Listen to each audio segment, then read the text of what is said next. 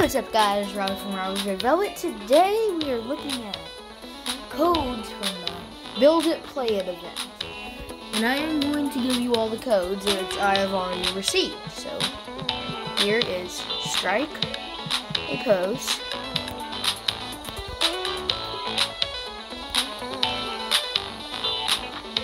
And then there's setting stage. And then there's get, move, and then last but not least, we have victory lap. That's all of them. See you guys in a bit to see the badges and what the clothes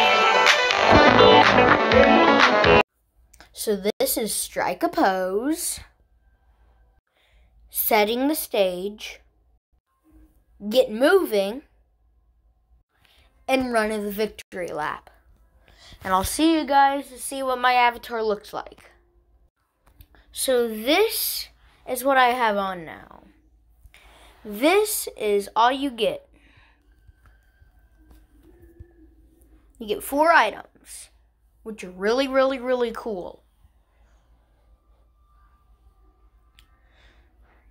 You have the build, play it, um, backpack, headphones, hat, and glasses. Just like if it was the stay at home event that was all the way back in April, I think. Or was it May? I forgot. Yeah, it was April, definitely. I think it was April. I'm pretty sure pretty sure um, the stay at home event was in April, and you got some cool items, and we got to listen to songs hour after hour until we were finally bored to like we can't take any more of it. So yeah, it was so fun. This was so fun all the way through. So, I'll see you guys in the next video.